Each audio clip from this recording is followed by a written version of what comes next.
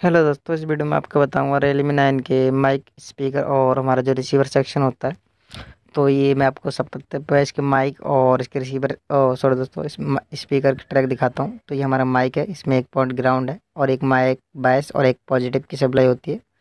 तो ये कंपोनेंट है यहाँ पे सब पत्ते पे और ये सप्लाई शायद यहाँ से निकल कर हमारी सीधे यहाँ पे आती है।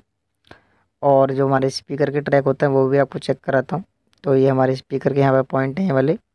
तो ये यहाँ से प्लस माइनस की सप्लाई निकली हुई है। इन पे आपको जी आर ले लेना सबसे पहले। और ये ट्रैक हमारे यहाँ पे आ रहे हैं देख सकते हैं। और इसके बाद मैं आपको मेन मदरबोर्ड पे दिखाता हूँ जो हमारा मेन मदरबोर्ड वो होता है। और उसमें B two B connector connect होता है। तो ये हमारा बी टू बी कनेक्टर है यहाँ पे देख सकते हैं। इसमें दो पत्ते लगे हैं तो ये सप्लाई हमारी इस, इस कम, वो जो कनेक्टर है यहाँ से हमारा माइक बायस और माइक पॉजिटिव की सप्लाई तो ये दोनों सप्लाई पे आपको जी आर लेना है। और ये सप्लाई जो हमारी जाती है, इस आईसी के अंदर जा रही है, देख सकते हैं। ये माइक बायस और माइक पॉजिटिव की सप्लाई यहाँ पे आती है इस आईसी के अंदर। और जो हमारी स्पीकर की लाइन है, वो हमारे इस कनेक्टर से जुड़ी हुई है। तो ये स्पीकर की लाइन पे भी आपको जी लेना है।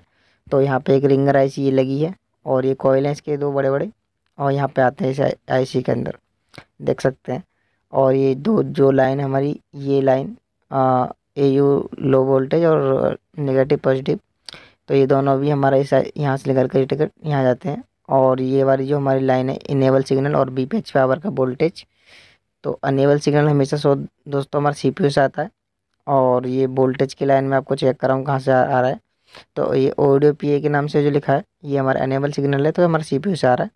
और जो हमारा ये वोल्टेज लाइन है तो ये हमारा वोल्टेज लाइन हमेशा वी क्यू आई सी या पावर आई सी से जाता है हमारे रिंगर आई सी के लिए। तो ये हमारे वी पावर का वोल्टेज है। ये मिसिंग होने पे भी आपका रिंगर काम नहीं। तो इसके आगे की जो सप्लाई होती है वो आपको चेक कराता हूँ। तो ये वन पॉइंट एट की लाइन है एक। तो ये यहाँ से इस आई से जुड़ी हुई है एक दूसरे से। ये आपको चेक करना है कि यहाँ तक हमारा वोल्टेज आ रहा है, नहीं आ रहा। और ये जो हमारी लाइन है, ये वाली, ये दो लाइन है माइक और इसकी ऑक्स की दोनों। तो ये मैं आपको दिखाता हूँ। ये जो हमारा रिसीवर सेक्शन होता है और जो हमारा मेन माइक होता है तो देख सकते हैं मैन माइक की दो पॉइंट प्लस माइनस और इसके एक ग्राउंड और जो हमारा रिसीवर होता है रिसीवर सेक्शन देख सकते हैं ये वाले.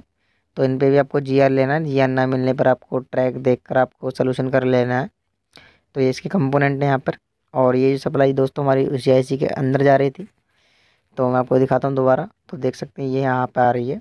और इस तरीक़ा से हमारा रियलमी नाइन में रिंगर स्पीकर और हमारा जो रिसीवर सेक्शन हो, होता है वर्क कर रहा है दोस्तों. Thank you